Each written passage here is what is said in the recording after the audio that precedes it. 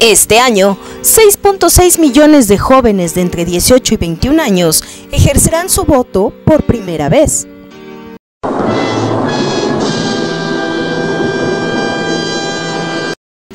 Es por eso que hoy le preguntamos a los chavos elayenses qué opinan sobre las próximas elecciones.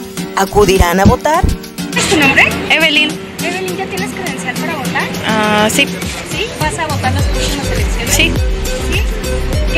¿Qué propuestas son las que te llamarían la atención? Ah, no sé. Mm, La verdad no sé. No lo sé, tú dime. ¿Van a votar? ¿Qué he hecho yo para ganarme este desprecio? Josué, José, ¿tú tienes credencial para votar? Simo. ¿Vas a votar las próximas elecciones? ¿Sí? ¿Cuántos años tienes? 19. ¿Vas a votar este año? Pues ¿Sí? ¿Y qué te anima a votar?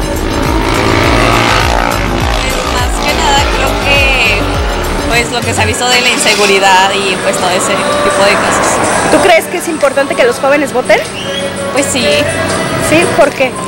pues porque creo que sería como mm,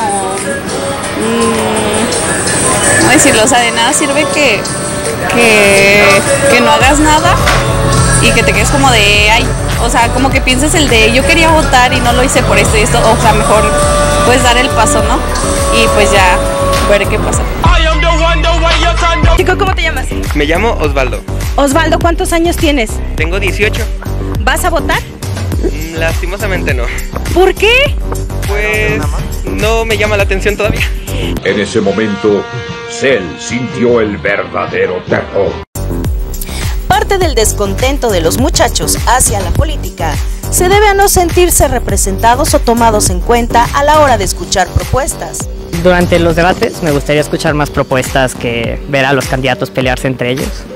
Sin embargo, este año su decisión es la más importante, pues el INE confirmó que la mayoría de estos nuevos votantes se concentran en ocho entidades federativas, las cuales son el Estado de México, Jalisco, la Ciudad de México, Veracruz, Puebla, Guanajuato, Chiapas y Nuevo León.